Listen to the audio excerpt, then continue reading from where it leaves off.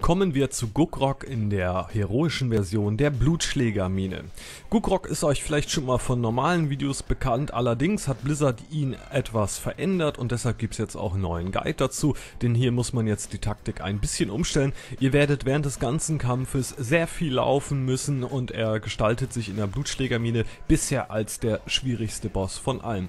Das erste, was Guckrock die ganze Zeit macht, er wird versuchen geschmolzener Kern zu zaubern, also zu casten und bufft sich damit jedes Mal. Er, das sind also kleine Stapel, die ihr da an dem seht.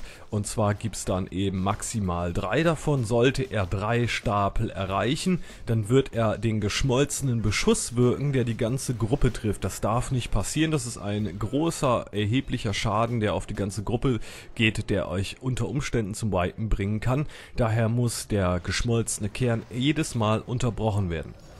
Das Wichtige ist, weswegen wir dem Tank hier eine Markierung auf die Birne gedrückt haben, ist, die ganze Gruppe muss, sollte zusammenlaufen und beim Tank. Das liegt daran, dass er immer wieder die Magma-Eruption wirkt, die sich auf die Spieler verteilt und um möglichst viel Platz noch zu schaffen, sollte man also zusammenstehen und gemeinsam durch den Raum gehen. Das ist nicht immer möglich, da kommen wir nämlich zu der nächsten Fähigkeit. Er wirkt irgendwann instabile Schlacke. Da kommt dann ein kleines Elementar angelaufen und das versucht zu den Schmelzöfen zu gehen. Da ist es wieder, da taucht es jetzt auf, ihr seht es an dem Strahl.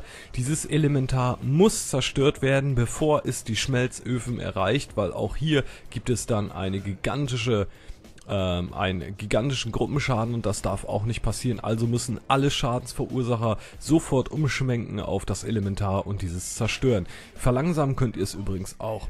Die Schwierigkeit ist da, dass diese Elementare auch gut und gerne dann irgendwann durch diese Flächen durchlaufen und ähm, da müssen die Schadensverursacher versuchen so ein bisschen an den Magma-Eruptionen vorbei zu laufen, ohne da rein zu geraten. Das Elementar muss auf jeden Fall sterben und desto länger der Bosskampf dauert, desto schwieriger wird das Ganze.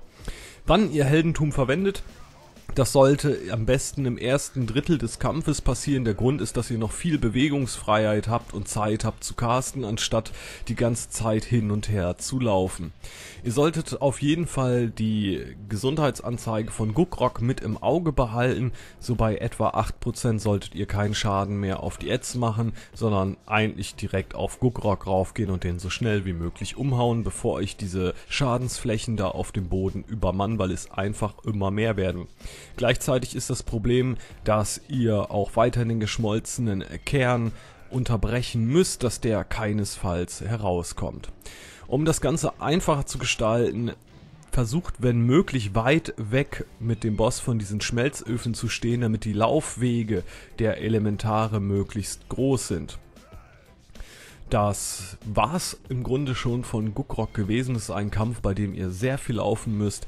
Die Gegenstandsstufe des Loots ist 630. Und da liegt er auch schon. Ich wünsche euch viel Spaß bei Guckrock.